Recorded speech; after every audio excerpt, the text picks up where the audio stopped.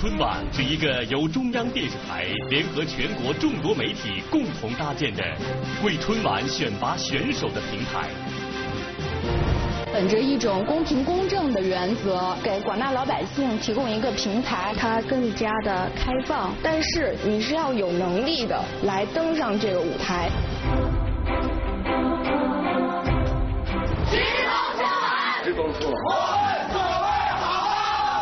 激励着一批又一批的演员能够努力的，能够拿出精彩的好节目。因为渴望，所以绽放。直通春晚好像是一条阳光大道，大胆的走。一次次挥洒汗水，一步步离春晚更近。不论东西南北，不分内外你我。直通春晚的大门向全国所有怀揣才艺的人们打开，在这里不只是竞争，也充满温馨。这两年是学校毕业的，好多年没有见了，是因为这个节目我们又相见了。训练量加大，所以我的腰有轻微的骨裂，还有点错位。我会尽自己最大的努力去完成这次的演出。观众通过是最主要的，真正评委。就是您节目办的非常的接地气儿，距离拉的特别近。希望有机会我也能参加一下。我也想参加春晚。舞台上的表演再精彩，也期待得到观众的喝彩。当掌声响起，我们会更加明白表演的意义。你们能上到直通春晚，也是一件了不得的事情了。把来自基层好的东西，原汁原味的。没有创意损耗的情况下，把它拔到春晚这个舞台上。你的精彩是我们的期待。我的最后一票投给春花烂漫。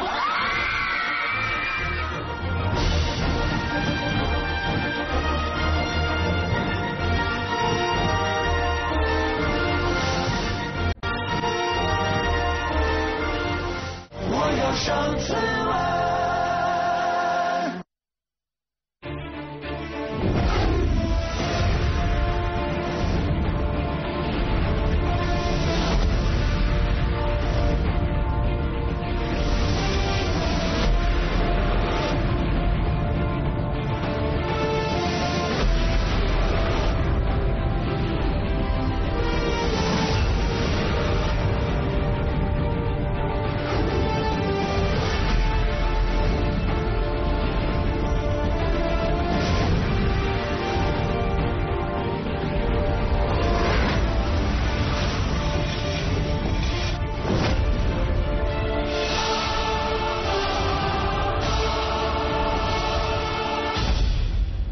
请主持人董卿上场。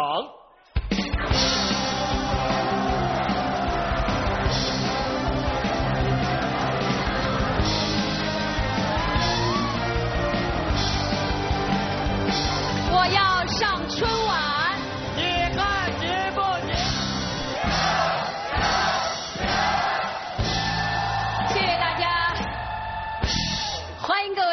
的直播现场，也欢迎电视机前的观众朋友们收看。保险就是阳光，阳光保险集团独家冠名播出的中央电视台综艺频道大型互动节目《我要上春晚》的特别节目《直通春晚》。再次欢迎各位的到来，谢谢大家，请坐。今天啊，是我们的直通春晚五场综艺节目直播赛事的第二场，同样有五支来自不同省区的代表队要登上我们的舞台，一展他们的风采。我先向大家介绍一下这五支代表队，他们是贵州代表队、陕西代表队、河南代表队、内蒙古代表队。江西代表队，应该说我们这五支代表队各具特色，但是除了艺术特色之外，还有一些其他的特点，我也可以向大家介绍一下。贵州代表队啊，我觉得是本场最辛苦的一支代表队，因为他们来自这五个地方当中距离北京最远的贵州苗族侗族自治州黔东南苗族侗族自治州，距离北京大约有两千四百多公里，真的是一路风尘仆仆，是不是应该把掌声送给他们？陕西代表队，是今天本场动静最大的，因为他们当中啊有高跷、有腰鼓，还有老腔，各种表演融合在一起，到底有多大的动静？我们请张喜明大叔给大家吼一嗓子，你就能感受到了。来，追上！有点气冲云霄的感觉哈。河南代表队是身手最矫健的一支代表队，而且冠军最多。就这几位，你看见没？就这几位当中，一位全国冠军，两位世界冠军，掌声送给他们。内蒙古代表队是平均年龄最小的，也是人数最多的，一共七十位在校学生，要为我们带来非常精美的无伴奏合唱。江西代表队毫无疑问是最美的一支代表队，参演的全部是姑娘，而且全部都是以花的造型呈现在我们的面前。那究竟在我们的这五支代表队当中，有哪一支或者有哪几支有可能登上二零一四年春晚的舞台？让我们拭目以待，也让我们再一次把最热情的掌声送给他们，送上我们的祝福和鼓励，加油！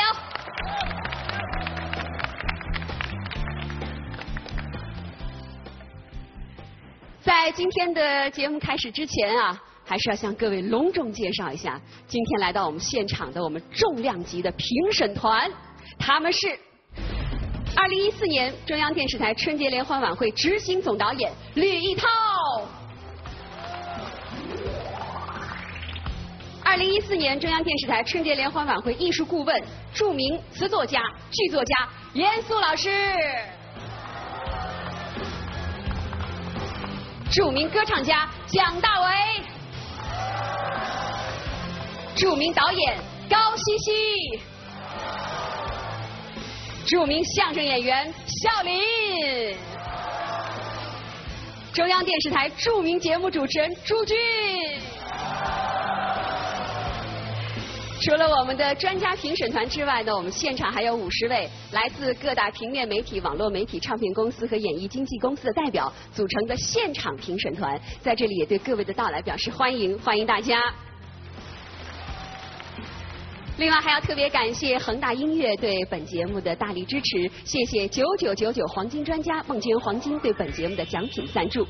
那今天晚上究竟哪一支代表队会第一个？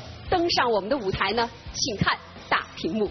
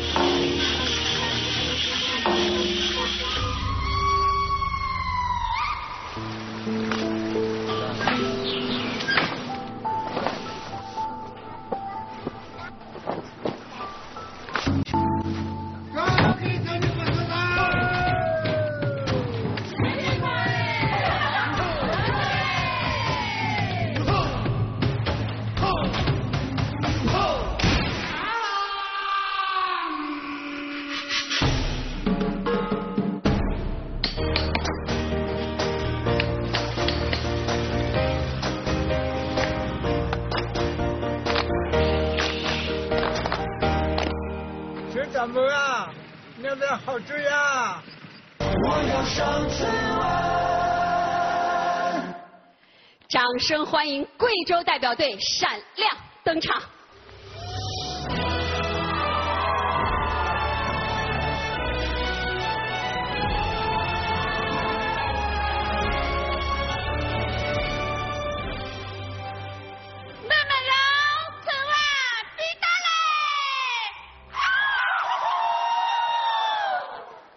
欢迎你们，好热闹呀！就是没听懂说的什么呀。这个可以请我身边的这位来给大家解释解释啊。我们贵州代表队特地选了一位咱们贵州籍的歌手来作为推荐人，掌声欢迎阿鲁阿卓。大家好，大家好，各位老师好，阿卓好。先说说刚才贵州队的口号是什么？呃，他们说的是“大家好，春晚我来了”。明白了，他们来了，你也来了。对，你来了是作为贵州队的代言人来了是吗？对，我跟着我们的队员一起，呃，来参加我们的直通春晚。嗯，说说你的推荐词。呃，贵州呢，我觉得当你踏入这片土地的时候，首先你感觉的是那种清新的空气和贵州人、贵州人民的那种淳朴、善良、热情好客的性格。那么千百年来呢，在我们贵州生活了很多的少数民族，有汉、苗、侗、彝，在这里非常的和谐。那么直到今天，唱歌和跳舞仍然是他们表达感情的一种最快乐的生活方式。嗯，说的真好。但是我觉得阿哲说的再好，也不如他唱得好。你是不是也能够用歌声来为你们贵州队鼓鼓劲儿、加加油啊？呃，那我就唱两句。朋友来了不想走，欢迎大家到我们贵州去做客，好吗？好。欢迎你来到我家乡，美丽浪漫的贵州，请喝下这碗浓浓的酒，再喝下这碗祝福的酒。鸟儿飞来不想走，花儿开了不想谢，歌儿唱了不想停，最好是朋友来了不想走，最好是朋友来了不想走。好，谢谢阿鲁阿哲。那接下来就让我们一起来欣赏贵州队为我们带来的反排木鼓舞，有请各位。没有。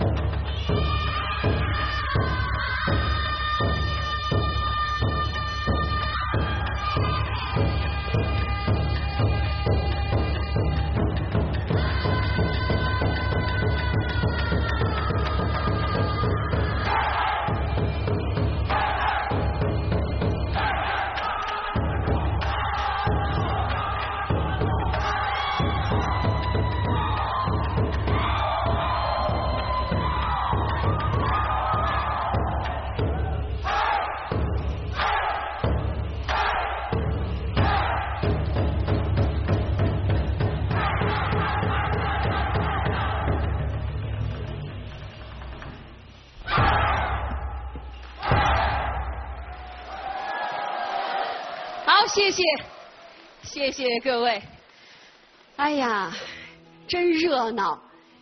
我向大家介绍一下，其实这些来自贵州的年轻人，大都是在家乡务农或者是出外打工的一些没有受过任何舞蹈训练的一些特别普通的年轻人。可是怎么就跳得这么好呢？是村里都会跳吗？对，因为平常在家的时候，每都每当节日的时候，我们都会跳这个舞蹈。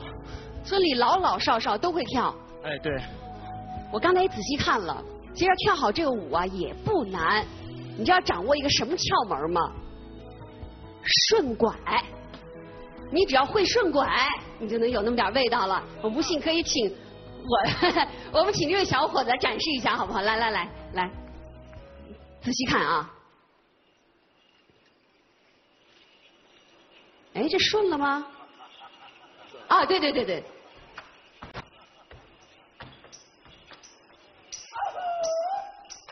哎，我觉得技术可能不难掌握，但是难的是他们那种劲儿，怎么就那么高兴呢？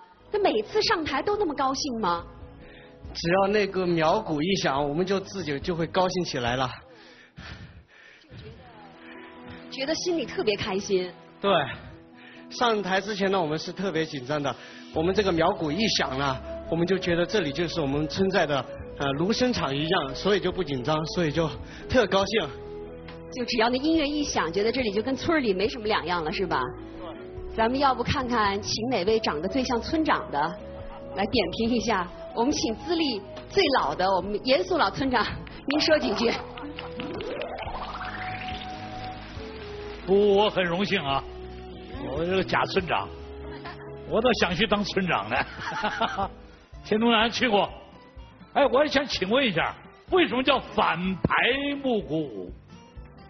反排木鼓舞呢，呃，就是就是来源于我们的反排村啊，反排村的村民呢，他们就爬山涉水，所以呢，这些动作就取决于他们的爬山涉水的动作而成的。反排村是对，在台江吧？反排村。啊，没去过这个反排村。哎，我讲了六个字儿，第一个字叫很给力。他们多整齐啊！这三个字了吧？第二个叫咱们常说的接地气，他们太接地气，他本来在地里头的。这个能跳的这么，我尤其我以为他们黔东南自治州歌舞团的呢，这么整齐，不是一朝一夕之功，而且气势宏伟。嗯，一撑得起那句话：“大美贵州，多彩贵州。”谢谢，谢谢严肃老师。我们请孝林副村长。好，呃，我我真的是呃非常的受感染，因为啊，呃，你们是今天的第一个节目，第一个节目是非常不好演的，怎么样才能把这整个的气氛调动起来呢？但是你们一上台，就靠着你们这种精神，靠着你们这种朴实的这种舞舞步也好，动作也好，让人感觉到了一种精神，马上把这整个的舞台全部都调动起来了。嗯，而且你们的动作呀，大开大合，让人感觉到这种啊，呃，就像刚才严肃老师说的，非常的接地气，来源于生活，而且呢，它又高于生活了，让人感觉到通过看你们的舞蹈就能感觉到人与自然就一个字儿和。所以啊，我对你们这个节目还有一点点不足啊，需要给告诉你们，就是什么呢？呃，我在很多年前就看过你们这个舞蹈，呃，不唯一不足就是觉得我觉得变化不大，尤其是啊，在这个编排上新的变化不太多，没给我留下特别深的新的意义，有一点点不足啊。好，谢谢谢谢小林老师，我们来听听高希希导演的看法。我个人感觉很震动，就是古典一起来，我们这群这个来自田间的这些表演者们，用他们那种简约的状态去表现舞蹈，在形体上让我感觉很震撼。我有一句话想说，等于是实际上是在他们简约的这个表现行为上，我能感觉到时尚的国际范儿，就特别是那种 disco 的感受，我觉得特别深刻。所以是简约时尚国际范儿。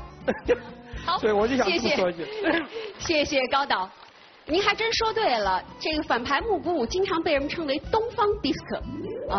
这个刚才你们上来就说了一句苗语口号啊，走之前是不是把我们节目的口号也用苗语说一遍呢？我要上春晚，你看行不行？姑娘们，准备好啊，来，大点声啊，一二三。每个平安唱春晚，每个后的个。哦，来了，行。好的，那我们来看一下我们的其余的四支代表队现在准备的情况怎样了，一起进入第二现场。亲爱的观众朋友们，这里是由保险就是阳光阳光保险集团独家冠名播出的中央电视台综艺频道大型互动栏目《我要上春晚》的特别节目《直通春晚》。马月欢迎您来到第二现场。欢迎告诉您啊，今天我身边可多了一位新搭档，您来看就是这位，来跟大家打声招呼。哎，观众同志们，大家好。哎呀，这口音特别吧？这个跟您开玩笑呢，其实这位啊是陕西代表队的选手张老先生。张先生，您能不能告诉我们，您手里拿的是什么？乐琴。乐琴是吧？那看来您今天带来的节目肯定与中国传统曲艺有关。这样，张先生，您今天啊还真得帮我一忙。您看每次第二现场啊，我都有一个口播任务。您上台之前，能不能把这口播帮我播了？来，行。所有成功吃通春晚的选手，都将获得由九九九九黄金颁奖孟金元黄金特别打造的金屋一一子。好，朋友们，您看这唱的就是比说的好听。这个意思我们也明白了哈，就是说，如果张老先生您能够顺利通过直通春晚，登上真正春晚的舞台，您就可以获得由梦金元黄金精心打造的金如意一只，怎么样？高兴不高兴？那高兴，高兴吧？而且还告诉您，我们的奖品啊，还不只是金如意呢。您往这边来看，您看这是什么？这可不是一般的话筒啊，这是由孟金元黄金这个专门提供的专业演出话筒，您喜欢不喜欢？喜欢，我也喜欢呢，真想拿着它来主持啊。不过咱们俩是没机会了。这话筒啊是给参加直通春晚歌唱节目选拔的选手们准备的。哎，谁能登上春晚，这话筒就归谁了。当然了，电视机前的观众朋友们，我们节目也没忘了您。您看这身后的这些奖品啊，都是给您准备的。只要您投票，哎，这礼品您就有机会获得这些精美的礼品了。怎么样，张先生？一会儿就等着您看您精彩的表演了。那您先后场好不好？来来来，有请。哎呀，这张老先生啊，这老腔唱的是太有味道了啊！哎，那是哎，那不是贵州代表队的选手吗？来来来来，正想找你们的。来来来，表演完了哈，太精彩了，这节目太有特色，太喜庆了啊！但是我最喜欢的是你们的服装，这一身银饰啊，太漂亮了。哎，我有个疑问哈，你说这演出服如果时间长了，怎么来清洗呢？手洗。手洗啊，那多累呀！不能用洗衣机来洗吗？还没试过，我不知道。没没试过，好办呢。你看这，我们这有小天鹅自动投放洗衣机呀，是吧？观众朋友们，您可听好了啊！只要您扫描我们屏幕下方的二维码，您就有机会获得我们的小天鹅自动投放洗衣机。姑娘们，相信你们身身边的朋友们都会给你们投票，是不是是？好嘞，没准他们就可以得到这个小天鹅自动投放洗衣机。到那个时候，咱们去他家来试试，怎么样？好不好？好嘞！不光是小天鹅自动投放洗衣机哈，以上这些奖品都是给观众朋友们准备的。但是有一个条件是，您必须要扫描二维码才行哦。好了，朋友们，今天第二现场的情况就是这样。接下来把时间交给董卿。好的，谢谢马跃。那接下来要登上我们这个舞台的又是来自哪里的代表队呢？请看大屏幕。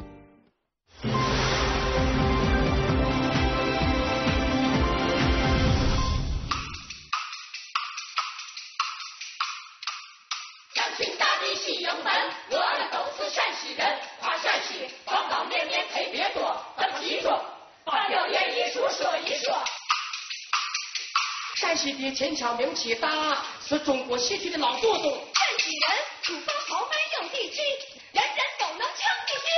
我们大人都讲。虽然说现在工作节奏有点快，可后期秦腔神清气爽，干劲儿来。有半半腔、全半腔。可这华阴县最出名的是老腔，有迷糊戏、皮影戏、看皮光棍、花鼓戏，陕北民歌最好听，在全国刮出了西北风。陕北的说书很有名，观众一代也盛行。我们在北辰出现北花场，把中国梦想来歌唱，来歌唱。我要上春晚。掌声欢迎陕西代表队闪亮登场。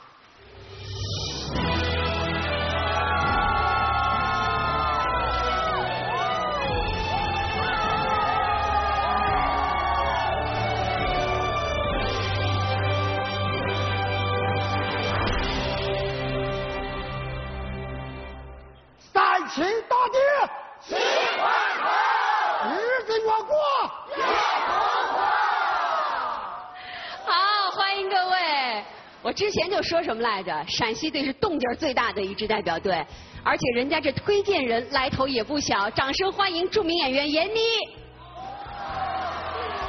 闫妮今天是作为陕西人啊，要为陕西代言了，是不是？但是我有一个小小的要求，这个你今天啊，这个说这个节目特色的时候，你必须拿出那佟掌柜那劲儿来，说着陕西话那风情万种的，怎么也得把我们严肃老爷子说的腿有点软才行，行不行？嗯，行啊。今天非常的荣呃荣幸来推荐我们陕西的节目，叫《日子越越过越红火》。这是标准吗？你这 怎么听你陕西话不太地道呀？嗯，非常的地道。日子越过，日子越过越红火。越过越红火。啊，因为过年了嘛，大家都说希望明年有个好收成，然后我们也期待明天会更好，所以日子越过越红火，就是我们老百姓的陕西老百姓，我有全国老百姓的心声。就那最后的几声笑声还有点那个意思啊！这个节目的特点是什么呀？对我们这个节目最大的特点就是它融入了三大主要元素，有华阴的烙抢，还有那个竹竹马高跷，还有那个安塞腰鼓，这三大要素最主要是我们中国的非物质文化遗产。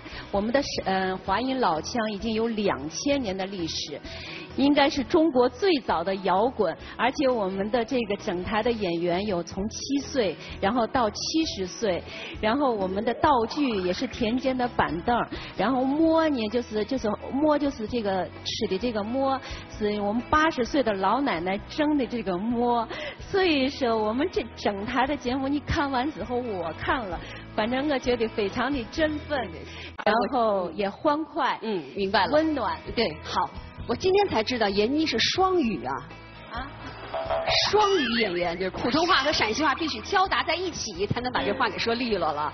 那接下来我们就来看节目吧，好的，一起来欣赏陕西队带来的这个特别的表演。日子越过越红火。伙计，笑死爹了，救活了，嘿，开始啊！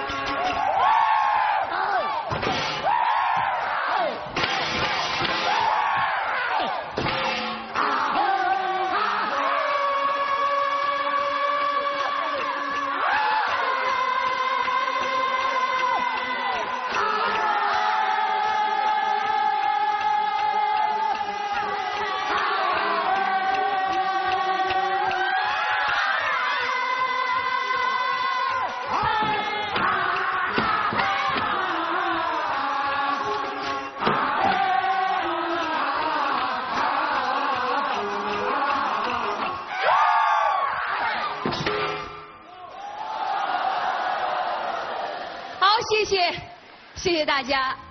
哎呀，孩子们，我看完之后啊，我的最强烈的感受就是咱们陕西人太实在了，就恨不得把家里有的各种好东西都端到这个台上来给你们看一看。所以我必须得给大家简单的介绍一下这几位唱老腔的这个老腔的表演，来自我们陕西的东边华阴华山脚下，后边你看。这个踩着高跷、骑着马的竹马高跷，这是来自我们陕西的西边宝鸡陈仓就是明修栈道、暗度陈仓那个地方，这个东西就隔着四百多公里呢。孩子们的这个腰鼓来自陕西的北边延安。除了这些演员之外啊，咱们这道具都有讲究，看见没？这就刚才闫妮介绍的花馍，是不是？这花馍好像是被老奶奶连夜赶出来，是吧？啊，对，这个花馍呢是我们陕西的一个特色。呃，在那个我们陕西的很多地方呢，也有在做这个花馍，都有在做这个花馍。但是我们手中的这个花馍呢，它是河阳正宗的非物质文化遗产，传承人他是一位呃。年近八十的老奶奶为我们做了三天两夜而赶制出来的。哟，这三个都是她做的，然后做了三天两夜赶出来的，然后呢是姑娘们一路给抱过来的。嗯，今天我们把这个花馍带到呃我们的舞台上，希望大家能够感受到我们陕西人的真诚。感受到了。除了这花馍之外，还有你看。是来自河阳的关中地带，还有这个这个大海碗，这来自西安，这据说是从人家里拿来的，挑了一个最漂亮的，是吧？里边连面都有，我们陕西的松紧带做的，真是啊，这一片诚意，我们感受到的是，我觉得我们今天台上的评审当中没有陕西人。但是有一位陕西人的女婿，必须得说几句。来，我们掌声欢迎朱军。哎呀，我说台上的乡党们，我感觉咱这节目成了啊！咋说呢？借借借这个严老刚才那六个字儿，真给力，接地气啊！聊咋了？聊不开，我跟你说啊，呃，真给力，真的是，我觉得这个。咱们台上的节目呈现出来的是咱们关中大地乃至陕西大地，或者说西北大地的性格，粗犷、豪放、朴实，看了以后就让人觉得那么给力，对吧？接地气，是咱们台上这些演员啊，他们好多都是地地道道的农民，他们好多年了，一边务农一边唱戏，对吧？而且凭着他们的努力，把这个两千多年的老腔啊，唱响了全国大地。我如果没记错的话。咱们是在零六年参加了北京人艺的《白鹿原》话剧的演出，对吧？一下子咱们这个老腔瞬间红遍全国，尤其是今天这个演出很有意思，两千年古老的戏曲跟咱们当今的街舞，哎，在一起，还有我们这个高跷，真的是接地气。看了以后啊，让人觉得就一个字儿聊，再加两个字聊咋了？好，谢谢谢谢朱军。我们来听一下我们的吕一涛导演的感受。呃，从上一场开始到现在呢，我觉得这个是最像过年的节目，最喜庆，最像春节的应该演的节目了，所以我在心里非常认可啊。那么呃，谢谢谢谢。那个那个，你看现在他们站在这儿，董卿，你不觉得他们就像一张陕西的民俗的年画嘛？特别像过年。那么，在这个舞台上，把陕西的呃民俗文化艺术做了一个很好的推广跟展示。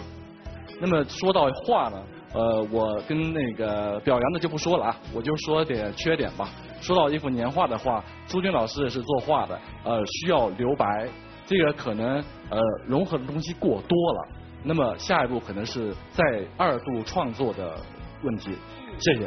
好，谢谢吕导，谢谢。蒋老师，看了以后，其实我看过这个节目，但是没有那么丰富。我记得在去年还是前年，我要上春晚的时候，哎，对吧？我我当时我也是在这做评委。今天的节目比上次呢人多了，更丰富了，更像过年了。嗯。我听老先生唱了两声这个以后，我有啥感觉？我以前我听摇滚，刚听摇滚的时候，我就觉得摇滚乐怎么这种声音？哦，我找到源头了，是吧？这个闹半天，这个中国的摇滚是从这开始的。而且我有一种疑惑，我觉得这种可能您唱不了吧？您的嗓音太漂亮了。我这我不是摇滚嗓子，这得摇滚嗓子唱。是不是？对。就必须得像我觉得张喜民大叔那样的。对对对，我唱不了。哎哎对。对对对，你可以。蒋老师那声音是不是唱不了啊？对，都能唱能唱。哎。你估计要唱，后的要唱就能唱。是吧？什么要唱？得吼着唱。唱。吼着吼着。哦，吼着吼着要唱啊！我我可能不会吼，我光会发声方法，了，那就不行是吧？向您学习，老先生，这真是我们民族文化的一个宝库，真的民歌的宝库。是的，谢谢你们，哎。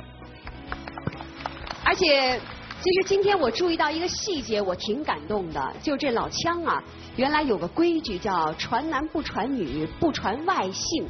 你看现在不仅传了外姓外乡人，还传给了年轻的女孩儿，说明咱们这个三秦大地的文化呀，在保留了它的古老、质朴、深厚的这种特点上，它也在与时俱进，在突破陈规。所以我们也真的希望咱们陕西的文化呀，能够像这海碗一样有容乃大，也像这老乡一样永远不老。我们也再次掌声，谢谢来自陕西的父老乡亲们，谢谢你们。那咱们电视机前的观众朋友，在收看节目的同时呢，不要忘了也可以登录 CNTV，为您所喜爱的选手投票。参与互动的幸运观众呢，都将可以获得九九九九黄金专家梦娟黄金提供的精美奖品一份，期待着您的参与。接下来又会有哪支代表队要登上我们的舞台呢？请看屏幕。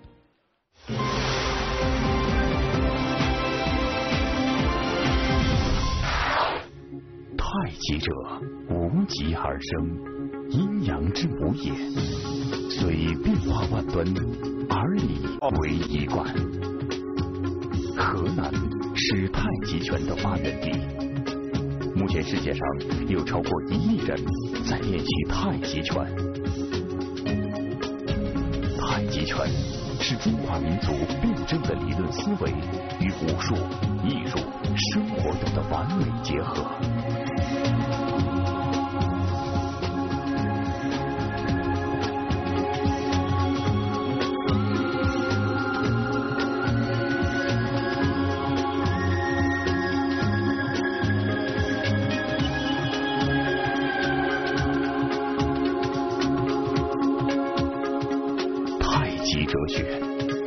渗透到了人民群众生活中的方方面面。我要上春晚。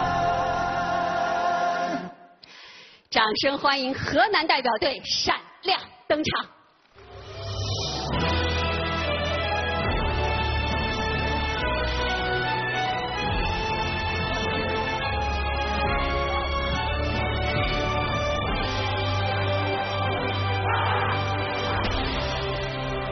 天下功夫非我莫属，太极随拳，直中之外，加油加油加油！哇哦！欢迎欢迎欢迎河南代表队！我河南不愧是武术大省啊，这一上来就气势不凡。我们也请我们的河南电视台的节目主持人庞晓哥为大家介绍一下节目看点，好不好？好的，董卿好，大家好。河南的武术啊，已经不止一次登上春晚了，每次都能带给大家不一样的感受和新的惊喜。我们今天为大家带来的是发源于我们河南，如今被誉为世界第一武术运动的太极拳。接下来要为大家表演的有七八岁的娃娃，有年近古稀的老人，有虎虎生威的功夫小子，还有在全国乃至世界武术比赛中拿过冠军的太极拳高手。今晚他们要在将近两米高的梅花桩上打太极，而且这些梅花桩是在不断运动和变换的，所以我相信看了今天的节目，大家也一定会禁不住的赞叹：直通春晚河南的节目一个字种。好，那接下来就让我们一起来欣赏河南代表队带来的武术表演——太极梅花桩。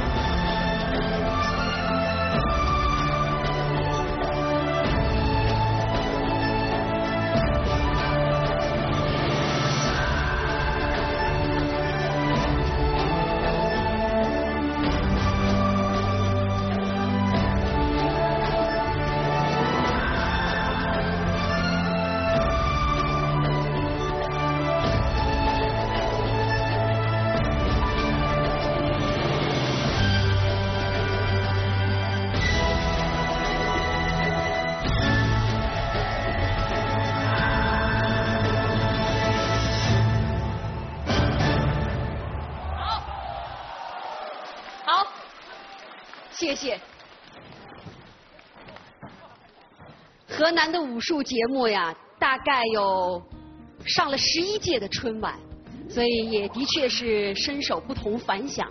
我们再次感受到了太极以柔克刚、以静制动、以圆化直的魅力。我们也来听一听各位评审的感受。严肃老师，我那不是震撼，是真的，我真出汗这回事。我参加过好多次春节晚会，我说实话啊，我过去以为开门办春晚各个省市送的节目啊，基本上都是应付的，这回是真的。真格的，各个省拿出最好的节目来了。你像这个节目，我就真是，我真出汗了，不会了，而且有点流眼泪的感觉，太难了，太好了，光说一个“中”字不行了，说“中中中中中”。谢谢老爷子。我人家小伙子是真出汗呐，一个个是汗如雨下呀。他们用自己的这这个真的辛苦的汗，换来了您的那心里的汗呢。我们来看看其余几位，高导，中，也是一个中字，因为我觉得这个节目在我的感受里头，它是最像春晚的节目。对，谢谢啊。我刚刚跟老爷子一块儿在这担心，我没想到这个以柔克刚，稳准狠呐，这很重要。呃，确实让我们感受到了这个太极的魅力。如果这个节目我刚刚在就跟老爷子聊嘛，如果在编排上再有一些考究，点和面的关系再处理的集中一些，我觉得可能会更上一个层次。谢谢。谢谢，谢谢高导。夏林老师。哎，我呢，呃，想问一个问题。哎。在咱们这个呃队伍当中呢，有一位白发苍苍的老大爷。哎，是来，哎，老先生，我我发现您呢，呃，您这个动作和他们相比呢，好像有点不太像专业的运动员。嗯。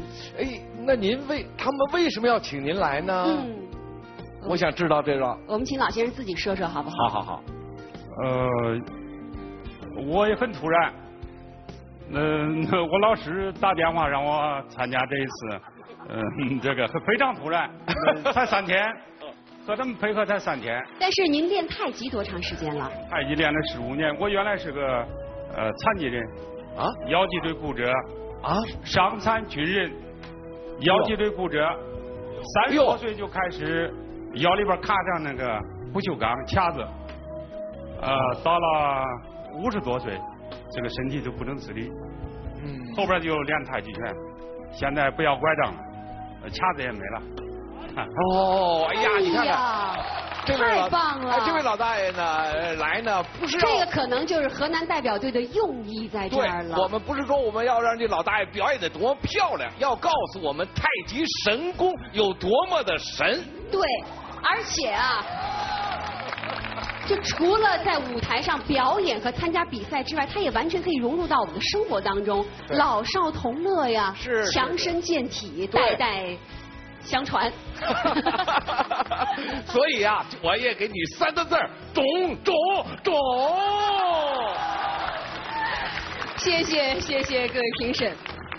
哎，我倒是觉得挺有意思，陕西队之后紧跟着河南队，这两个都是咱们国家文化大省啊，都是中华文明的发祥地。咱们的陕西的西安和河南的洛阳都是十三朝古都啊，所以历史之悠久。文化之璀璨让人高山仰止，大家有没有觉得我们这五场综艺节目展演有点像一次中国文化之旅？让我们徜徉其中，获益匪浅。我们也再次谢谢河南代表队带来的精彩的表演，谢谢你们。好了，那接下来又会有哪支代表队要登上我们的舞台呢？广告之后马上回来。欢迎回到我们的直播现场，观众朋友，您现在正在收看的是《保险就是阳光》阳光保险集团独家冠名播出的《直通春晚》。那您在收看我们直播的过程当中呢，也可以参与我们的二维码扫描互动，我们的幸运观众都将有机会获得小天鹅自动投放洗衣机赠送的精美的奖品一份，期待着您的参与。那接下来要上场的又是哪一支代表队呢？请看大屏幕。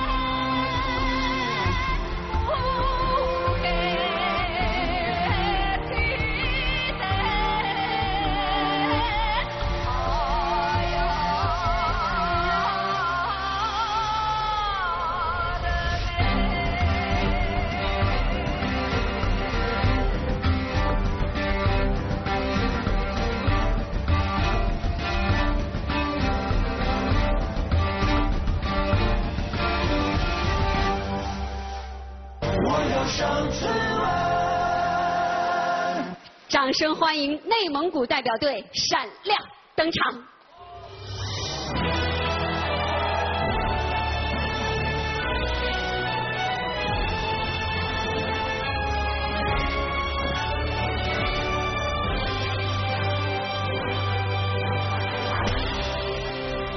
Та бүхнийхэн алтан сандрыг мэдахаар бид нар өр Монгодоос хүрсэн ирдэ. Эрхэм хүндэт үзэгчтэй та бүгдээрээ 塞贝诺，塞贝诺，欢迎孩子们，欢迎同学们来到我们的现场。那接下来就请我们的内蒙古电视台的主持人纳格亚给大家介绍一下我们的节目看点，好吗？呃，这是我们内蒙古自治区第一个少年合唱团。五年前，就是这些孩子，他们连五线谱都不认识。他们来自于草原深处，是牧民的孩子，他们 热爱歌唱。五年的时间里，他们接受了国内外老师给予的全方位的艺术培训。他们的歌声既有艺术水准，又保持着原生态的韵味。孩子们用蒙古语来演唱，也许呢大家听不懂歌词，但是很难不为这心与心的直接倾诉所动容。合唱团的孩子跟我说，上春晚是他们梦寐以求的。今天呢，来到了直通春晚，我想离梦想又近了一步。就祝他们直通春晚，直达梦想。好。接下来就让我们一起来欣赏无伴奏合唱《维拉特舞韵》。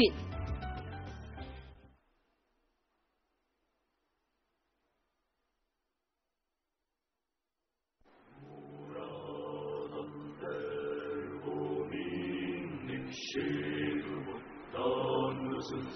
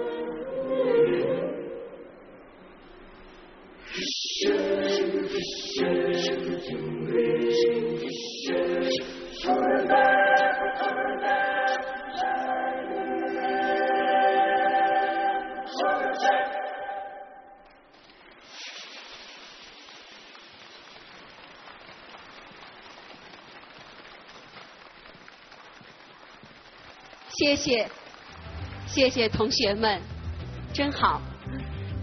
我刚才一直说内蒙古代表队是本场人数最多的，有七十位同学。看来我介绍的还不太准确，应该有七十一位，因为老师也在场。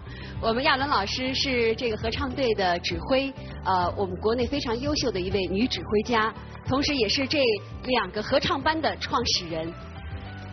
欢迎亚伦老师，欢迎您。我听说。好像大部分的孩子都是来自牧区的牧民和农民的孩子，是绝大部分，绝大部分都是啊。来，小伙子，你你来，你个儿比较高，就就看到你是来自哪里？啊，我来自内蒙古锡林郭勒大草原。来自锡林郭勒大草原，你也是家里也是牧民家庭是吗？对对。家里养了多少只羊啊？七八百只吧。哇，七八百只啊！你是不是？从小就放羊的时候就开始喜欢唱歌了。对，应该是那样说的。我就嗯放羊的时候喜欢唱歌，因为那些羊都是我的观众嘛。那我们今天的观众呢？啊，那因为看羊时候我唱。我能理解，就是你对着他们唱的时候就特别的自由。嗯，自由，开心是吧？然后就是很自由，就是对着你们唱，他不太自在，就是那个意思，就是。你要不现场把这儿想象成大草原，你给我们轻轻的哼唱几句好不好？嗯，那我就唱一首大家唱一首，唱一段儿。唱唱一段儿大家非常熟悉的《梦中的额济》吧。손 Сүммих зэрэгдэн дэггээ анярдаа сүсгэлхэн эргэн ээж минь утагтнаа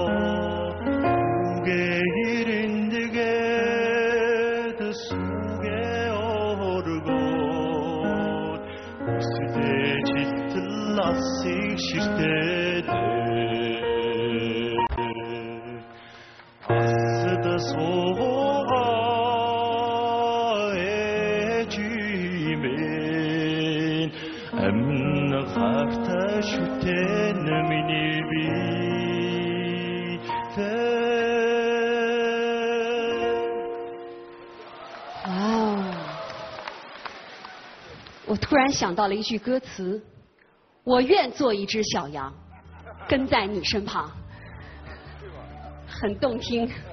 我们来听一下评审的感受，蒋老师。谢谢，非常高兴听到这么优美的歌声，因为我和内蒙有很深的情结。当年在部队，我插队也在内蒙，后来部队也在内蒙，所以我对内蒙的歌声和内蒙的音乐太熟悉了。啊，亚伦老师呢，又是我们一个单位的，是吧？啊，你们俩以前一个单位的？对，我们都是中中央民族歌舞团的。哦。呃，亚伦老师对内蒙的合唱有很大的贡献。对对对。他指挥出很多的合唱作品和合唱团在国际比赛获奖，所以很优秀。我们团把他调到了我们团。哎，现在他又创建这个合唱团，我们听了以后，我听了以后特别的高兴。呃，声音特别的温馨，这群孩子太可爱了。人们都形容什么叫天籁之声。这是来自大草原的天籁之声，哎，真的好听，美，真的优美，像草原一样的辽阔，像马头琴一样的悠扬，像牧民一样那种温暖和热情。呃，我只有一个小问题，亚伦老师，我就想问问那个领唱那两个女孩子，她们的年龄多大？呃，阿阿中和弟，十六周岁。对。我想说一个说一个啥啥想法，就是我觉得他们这孩子都在十六七岁，能够把合唱排成这样很难的，因为他们都在变声期，哎，变声期的特点就是这个小伙子也是，就是高音和低音他不好使，但是能够出现这样的和声合唱的声音很不容易，说明您训练有方，哎。是 是吧？谢谢，指挥是对合唱指挥是合唱团的灵魂，灵魂灵魂哎，是谢谢谢谢大家，谢谢蒋老师。嗯，我们听听朱军的感受。哎呀，听到这个音乐太感动了，真的是热泪盈眶。虽然唱的是咱们蒙古族的语言，我们听不懂内容，但是这个音乐实在是。跟我们心灵相通，所以我觉得感动有两点啊，一个当然是这个音乐，我觉得咱们内蒙古的音乐真的有一种神力，当长调响起的时候，它可以勾着你的魂魄，奔向那广袤无边的大草原。如果大家没有体会的话，你去感受一下，当酒歌响起的时候，无论你能不能喝酒，肯定都端起大碗来要尝试一二口。所以我觉得这就是咱们内蒙古音乐的一种独特的魅力。另外一个感动，真的是亚伦格尔勒先生。我今天一定要称您一句先生。这么多年了，您一直在坚守，坚守在那儿，带出了一支又一支的合唱团，带着他们走出内蒙古，走向全国，走向世界，真的令人敬佩。在这里一定要表达对您的敬意，谢谢您。另外呢。我如果要给咱们今天这个节目多少提一点点建议的话，我觉得因为是春节晚会当中的节目，所以亚伦老师是不是可以让它再立体一点，再丰富一点？就是说让它更具有这个戏剧性啊，或者叫那种叙事性，让我们通过音乐能够看到一个故事啊，看到一个嗯那块版图上人们那种火热的，或者说那种。恬淡的那种美好的那样生活的场景，再立体一点，加入一些戏剧的这种手法，可能会更棒。祝福你们。谢谢，谢谢朱军。最后，我们还是听听严肃老爷子。呃，亚伦你好，好久不见了，真的特想你，真的。你的音乐你得回应一一下，他说他挺想你的。真的，真的，总是最好的。哎，说一句话了。您好，严肃老师，很想念您。我 觉得，对雅人和他的这个队伍来说，上不上春晚不是主要的，他们的艺术是主要的，他们这个歌，他们这个队伍可以走遍世界，真的。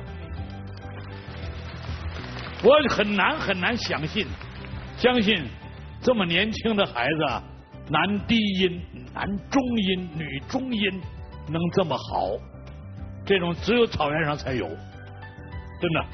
高音我不奇怪，中低音很难，找不着，只有你们那儿有，真漂亮，谢谢你们。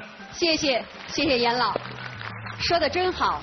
就是那个啥叫上不上春晚不重要啊，咱们我的意思就是说，他就是不上春晚，他们这个歌也走遍世界，我就这个意思。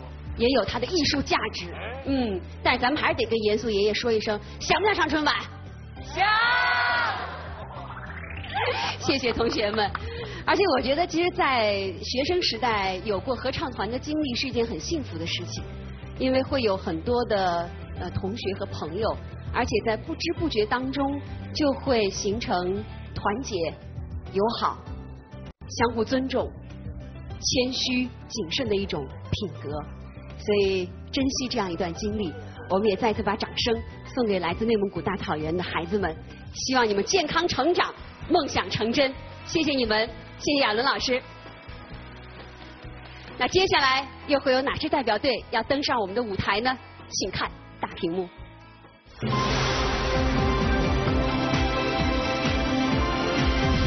江西文章结义之邦，钟灵毓秀之地，煌煌千年的赣文化，底蕴深厚，亘古遗香。赣罗。上古文明的活化石，粗犷古朴，装点华丽。采茶戏在乡土艺术里融入红色江西的革命情怀。大剧既温柔又慷慨，是中国戏曲界的一颗璀璨明珠。青花瓷温婉如玉，圆润如珠，它是手工技艺的巅峰之作。融合了书法绘画的艺术之美，绚丽青花，千年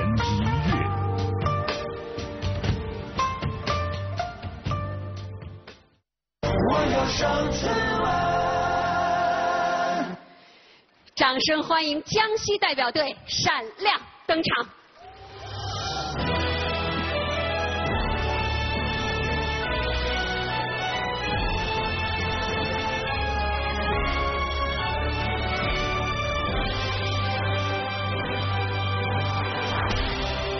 青花别韵，很中国，很世界。好，欢迎姑娘们。到底怎样很中国，很世界？我们请我们的江西卫视的主持人刘卫给大家介绍一下。好的，我想一开场亮相啊，大伙儿应该注意到了，舞台上我们的演员是身着青花衣，手捧青花瓷，款款而来。我特别想问大家，这画面美不美？那直通春晚行不行？谢谢。作为这个节目的推荐人，我很负责任的告诉大家，咱们的青花蝶韵啊，不止这第一眼的惊艳，更有韵味无穷的精彩。舞蹈将仁慈青花有机统一，浑然一体，并配以梅枝的凌霜傲骨，交相辉映，呃，展现了我们中国青花瓷的典雅俊秀。展示出我们中国文化的绚丽自信。好，那接下来就让我们一起来欣赏舞蹈《青花蝶韵》。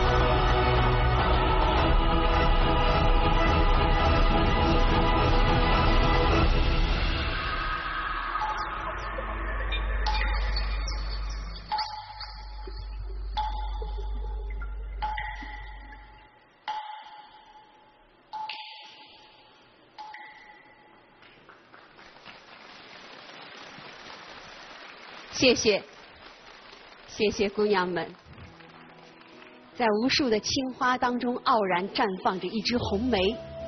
我想，关于这个节目呀，呃，有一位是特别想点评，因为我们这位专家评审啊，是姑娘们的老乡，还是姑娘们的校友。我们掌声欢迎高导。也非常荣幸，呃，同时也非常高兴，呃，在直通春晚的舞台上看到了家乡，看到了呃中专母校的队伍在这里表演表现，我觉得这个特别好。呃，从这个古韵，从这个人物感觉，从整个戏的编排，通过一个青花，我说我觉得很有特点。我很直接的说吧，我一定努力要跟春晚的导演推荐这个作品，一定要直通春晚。谢谢高导，太给力了。我觉得还有一个建议啊，这个上春晚是第一步，然后呢，您看这里边姑娘也一个个又年轻又漂亮的，您看您这幸福像花儿一样，不就捧红了孙俪吗？原来也是舞蹈演员，这里边您也看看，可以挑选一下下一部电视剧。也希望你们通过这个舞台走向更大的舞台，也希望你们能参加我的拍摄，谢谢。谢谢高导，谢谢。我们来听听朱军的感受。哎呀，还没从那个意境当中出来呢，太美了，太养眼了。真的想试问一下，这样美的青花瓷，有谁不愿意收藏呢？当然了，我已经没这个条件了，所以在这里呢，我要郑重的推荐二零一四年春节联欢晚会收藏这美丽的青花瓷。谢谢，谢谢朱军，小林老师。呃，青花瓷韵呐，真是误如其名啊！你看他们的服装，青花，他们的这个表情和他们的这种状态，就像青花般的清纯。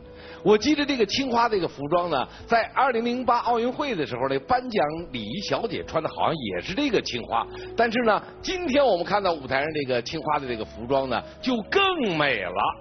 所以呢，呃，整个让这舞蹈的这个韵味更加的浓厚了，真纯呐、谢谢。我们台上应该一共有二十二十位姑娘，对，二十位姑娘很不容易啊，特别是我们的领舞张叔今天是打着封闭啊在表演，但是还有一位更不容易的，其实台上啊应该有二十一位，她在哪儿呢？来，姑娘们闪开，我们给她一个亮相的机会，好不好？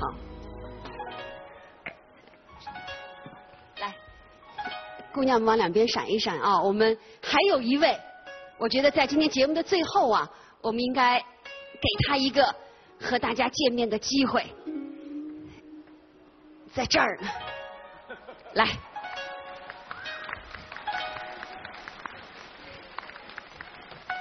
我们的同样也是大家的校友，也是这个舞蹈队的一员，叫胡梦娜。但是为了演出的效果能够更理想，他服从了导演组的安排，听了老师的建议，他成为了我们舞台上的第二十一位没有亮相的演员。咱们是不是也应该把掌声送给这位年轻的舞蹈演员胡梦娜？谢谢你，谢谢你为集体的荣誉付出的努力。包括刚才我们江西的领队在那儿一直说，我的心都要跳出来了，我紧张死了。我就想，我们也把掌声再次送给所有的这些幕后英雄们，谢谢你们。好了，我们今天的五支代表队的表演到这里就全部结束了。我们先通过视频来回顾一下他们之前的精彩表现。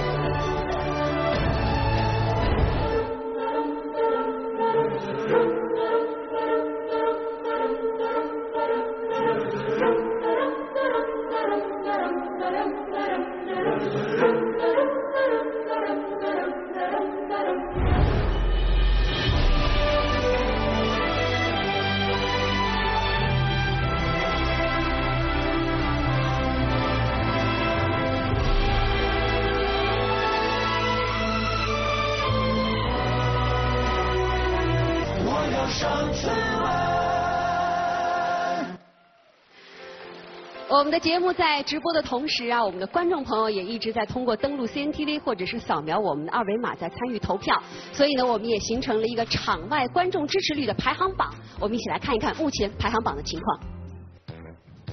我们今天的场外观众支持率的情况是，获得最高支持率的是内蒙古代表队，获得了百分之二十四的支持率。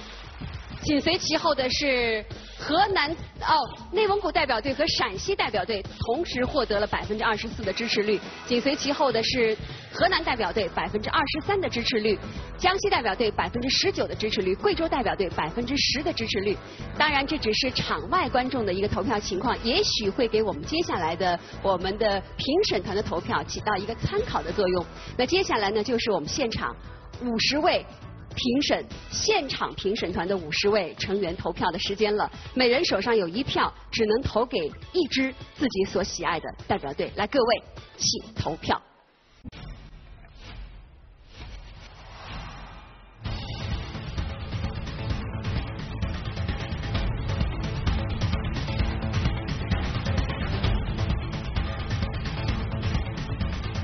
观众朋友也可以通过 CNTV 继续为您所喜爱的选手投票。我们参与互动的幸运观众都将有机会获得九九九九黄金专家孟娟黄金提供的精美奖品一份。好了，让我们一起来关注一下我们的现场评审团五十位现场评审的投票情况。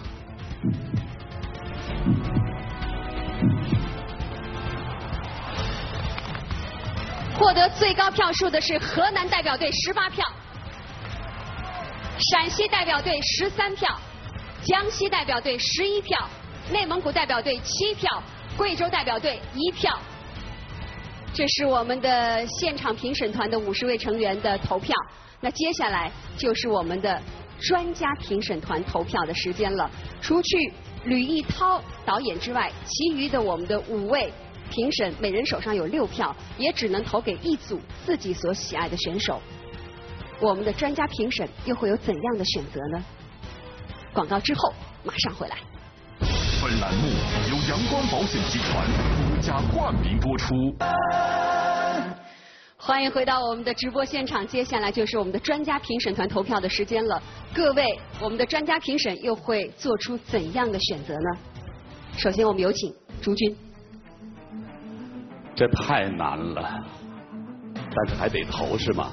只能投一个。对。好了，那我这一票投给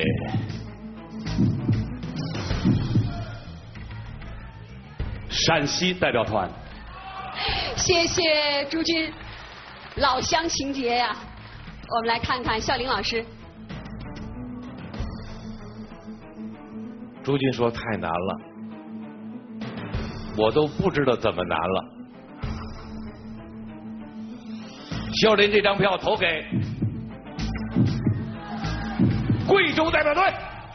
谢谢笑林，笑林的六票投给了贵州代表队。我们有请高希希导演。更难，但是也得投。我的这一票投给江西代表队。谢谢高导，高导的六票投给了江西代表队。我们有请蒋大为老师。我的这一票投给内蒙古代表队。谢谢蒋老师，蒋老师的六票投给了内蒙古代表队。有请严肃老师。我的代表，我这个六票投给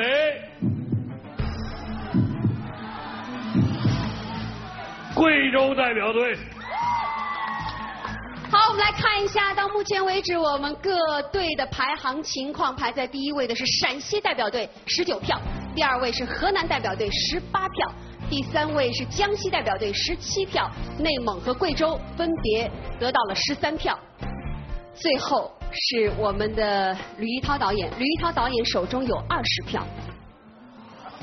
吕一涛导演手中有二十票，这场上最后的二十票会投给。哪一支代表队呢？吕导。哎，反正呢，每次都是我做坏人嘛。最后，我觉得呢，在在在座的那个呃，观众也自己有心中的选择，我心中有我的选择。呃，我很简单的把六呃五个代表队简单说一下。呃，贵州的反排木鼓舞，我感受到了欢快自在。如果能够结合类似于侗族大大歌这样的呃形式，可能更好。第二个，日子越过越红火，我感受到了豪迈。如果能够做减法，优中选优，可能更好。第三个，太极梅花桩，我感受到的是人文。那么，如果能够在视觉冲击冲击力上更多的亮点，就很好了。呃，第四个，内蒙古代表队维拉特五韵。这个设计非常的巧妙，我非常喜欢啊，有改以往的这个内蒙歌舞的这种形式。那么，如果增加更多的这个声部童声，真正的儿童的声部进来的话，可能更好。最后一个青花蝶韵，非常的素雅，可能是今天我们领领跳这个身体的缘故，呃，可能影响了他自己的发挥。呃，综合这个考虑呢，我。在现有的这个春晚节目的架构之下，我决定把最后的二十票投给陕西代表队，日子越过越红火。谢谢吕一涛，吕一涛的二十票投给了陕西代表队，这样的话，陕西代表队成为本场的第一名，获得了三十九票，祝贺你们。按照我们的比赛规则，我们将在五场综艺节目的比赛全部结束之后，产生一个总排行榜，排名在前五位的代表队将重新回到我们这个舞台上，再一次来接受春晚导演组的选拔。那我们先来看一看，经过了两场比赛之后，我们的十支代表队当中排在前五名的是哪五支代表队？一起来关注一下目前的排名情况。在经过两场比赛之后，目前的排名情况是，排在第一位的是广东代表队。排在第二位的是陕西代表队，排在第三位的是天津代表队，排在第四位的是河南代表队，排在第五位的是江西代表队。当然，这还不是一个最终的结果。我们还有十六支代表队还没有登上这个舞台，就让我们继续关注，到底有哪几支代表队可以最终登上春晚的舞台呢？让我们拭目以待。在这里，再次感谢九九九九黄金专家孟娟黄金对本节目的奖品赞助，也欢迎大家在下周的同一时间继续收看《保险就是阳光》阳光保险集团独家冠名播出的《直通春晚》。朋友们，下周再见。我们期待，总会有一天绽放最强的光。我们相信，梦想的舞台永远无限宽广。我们知道，经历风吹雨打才会更坚强。我们一路高歌，我们尽情的唱响。我要上春晚，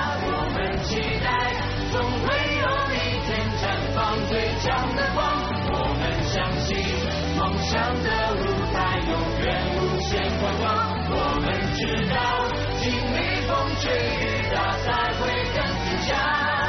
我们一路高歌，我们尽情的唱响，我要上春晚。我们一路高歌，我们尽情的唱响，我要上春晚。